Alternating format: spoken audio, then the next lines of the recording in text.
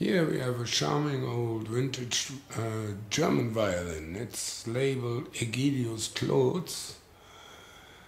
Uh, it has a beautiful one-piece back. Uh, the settings are ebony and uh, it has a very nice sound. We would estimate its age at late 1800s, early 1900s.